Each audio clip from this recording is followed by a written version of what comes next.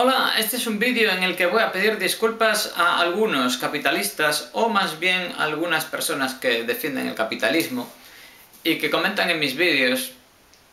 y que les suelta ahí unos borderíos que te cagas y unas broncas de la hostia. Y yo es que creo que... Mm, yo creo que me equivoco porque mm, Así como hay gente que defiende el capitalismo y que me parece una cínica de la hostia y que me toca mucho las narices, hay mucha gente que defiende el capitalismo porque a mí me da la impresión de que no entienden bien lo que defienden. Y veo que es gente que no tiene mala intención ni que tiene buen corazón,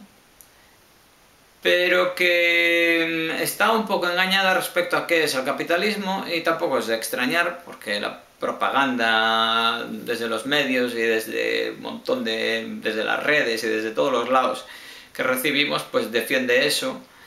Y entonces es normal que mucha gente piense eso. Aparte de que haya gente que pueda opinar eso pues sin estar engañada pero esa gente tiene mucha tela. Porque decir eh, bueno decir ciertas cosas tiene mucha tela. Pero yo veo gente que dice por ejemplo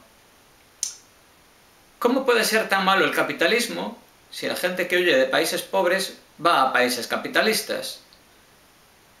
Y hombre, es una idea simplona, quizás poco analizada, mm, pero tampoco voy a culpar a nadie de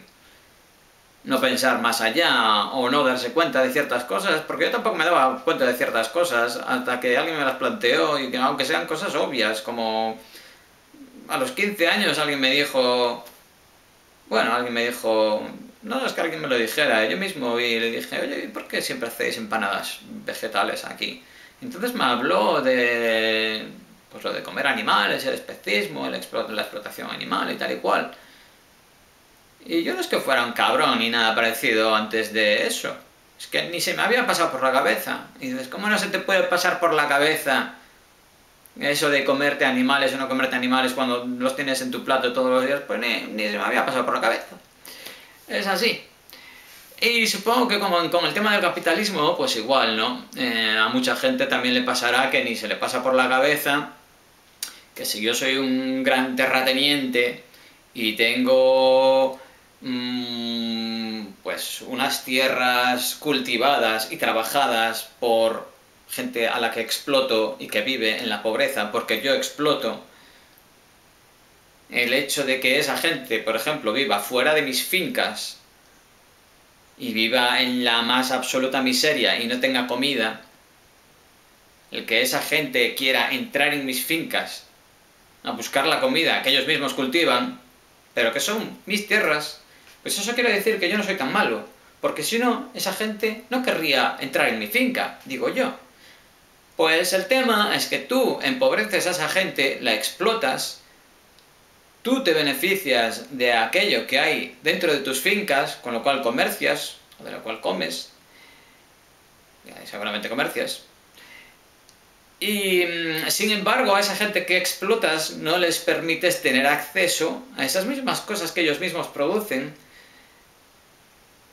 y mm, con las cuales tú te enriqueces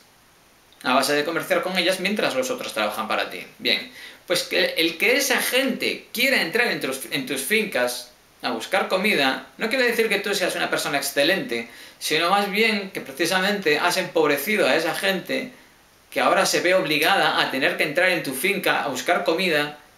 porque tú los has, los has empobrecido hasta un punto en el que igual ni siquiera tienen, tienen tierras en las que plantar Mm, cosas y ni siquiera pueden pagarse las semillas, por ejemplo, muchas veces, o no tienen métodos de regadío que requieren igual un dinero que tú si tienes y por eso puedes eh, regar tu finca.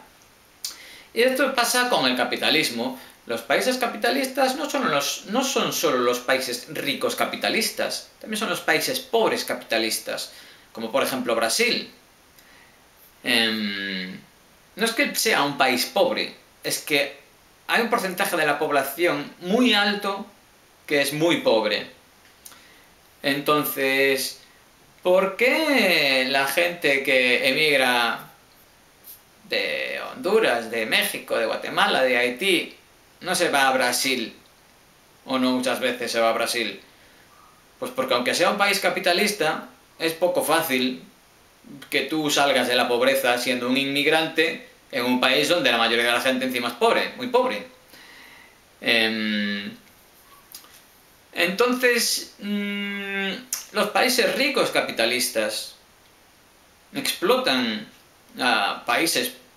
capitalistas en los que la gente vive pobremente, como por ejemplo en Brasil. Hay multinacionales estadounidenses que mm, arrasan el Amazonas para hacer sus plantaciones allí, sus monocultivos y, mm, por ejemplo, monocultivos de soja, con los cuales, de los cuales el 90% se utilizan para alimentar ganado. Y arrasan allí con lo que hay, arrasan con pueblos indígenas, arrasan con millones y millones de animales, arrasan con montones y montones y montones de hectáreas de bosque y de selva. Y, mm, y claro, eso empobrece a mucha gente, eso empobrece el lugar, eso hace que tierras donde viven, pues por ejemplo, indígenas, en otros sitios em, lo que hacen es eh, generar sequía, generar Em, corrimientos de tierra, porque cogen y se cargan todos los árboles, talan todos los árboles de una colina, por ejemplo, que antes sujetaban el suelo y ahora como no hay árboles no lo sujetan, viene una lluvia torrencial, hay una riada y mata a cientos de personas que viven en un poblado allá abajo y que antes no morían. Entonces, mm, también hay gente que antes vivía pues cultivando sus tierras o de muchas maneras sobrevivían, tiraban para adelante, incluso vivían relativamente bien. Y que una vez llegan allí, pues gente que compra esas tierras, que dicen, no, no son tuyas, estas tierras están a la venta, las ponemos a la venta, son mías, son de, esta, de esta empresa, o esta empresa pone esta mm, fábrica en un lugar en el que tú te ves obligado a trabajar porque han generado una economía a nivel social que te impide a ti poder sobrevivir sin tener que dedicarte a trabajar para esta multinacional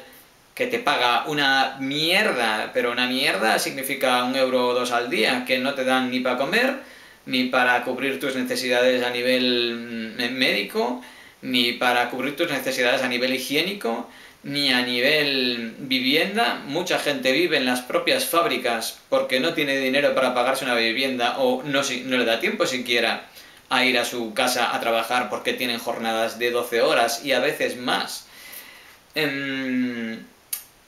entonces, claro, yo cuando alguien me dice que el capitalismo es el mejor de los sistemas,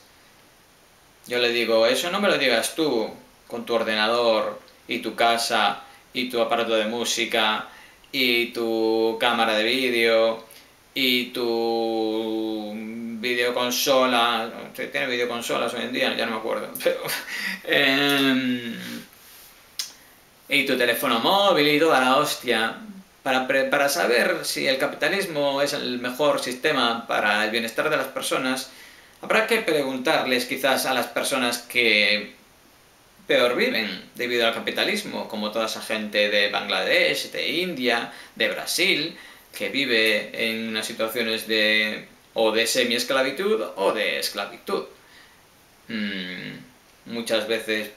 esclavizadas por personas que han sido condenadas por esclavizar a gente como es Amancio Ortega, tanto en Brasil como en India, como en Bangladesh, y que algunos consideran que es una persona pues, que ha empezado desde cero y que se ha ido enriqueciendo gracias a su trabajo y dices, oye,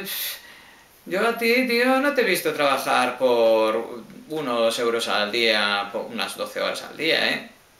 Para nada, no te he visto yo crecer gracias a tu esfuerzo. Eres tú quien está explotando a otra gente y haciéndola trabajar ese tipo de jornadas. Bueno,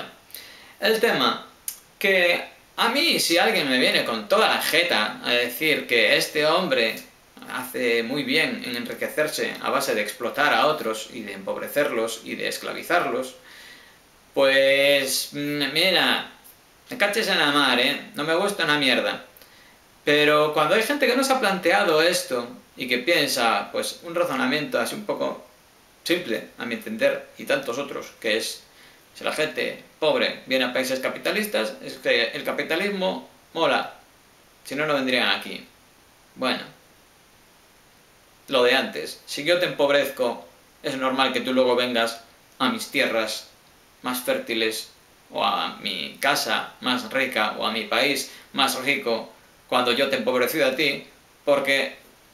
es más fácil salir adelante o buscarte la vida o lo que sea en un país más rico que en un país más pobre. Y eso lo he hecho yo, y eso lo ha hecho un montón de gente que mucho se queja de que venga el marroquí o de que venga el senegalés o de que venga el, polaco, pero luego se larga a Alemania a buscarse la vida, se larga a Inglaterra, como yo, a buscarse la vida y a aprovecharme de sus beneficios sociales, como me han dicho allí muchos, y cuando me quejo me he hecho críticas a la política o a la economía de un país como Inglaterra, al que no le quiero ni poner mm, adjetivos, me dicen, pues si no te gusta, vete a tu país. Es que el tema es que no es que me guste o no me guste, el tema es que yo en mi país vivía en la calle, ¿sabes? Y aquí no vivo en la calle. En mi, en mi país yo tenía que dedicarme a robar comida para sobrevivir. Y aquí lo hago, pero no lo necesito tanto. Eh, Entonces eh, pasa eso, que es normal que un pobre vaya a un sitio más rico a buscarse la vida, eso es. Y es normal que mucha gente esté confundida con el tema del capitalismo porque mm, nos comemos ese tipo de propaganda todo el tiempo. Entonces, a quienes hacen cierto tipo de comentarios y se comen rapapolvos por mi parte, o comentarios desagradables, o borderíos o así, eh, les pido disculpas porque mm, no creo que nadie se merezca... Bueno, yo no creo mucho en el concepto de merecer, pero no creo apropiado por mi parte el tratar con desprecio, o con mala leche o con algo a alguien que realmente tiene buenas intenciones y que simplemente pues piensa que la estrategia para el bienestar de la mayoría es una diferente a la que veo yo. Hasta luego.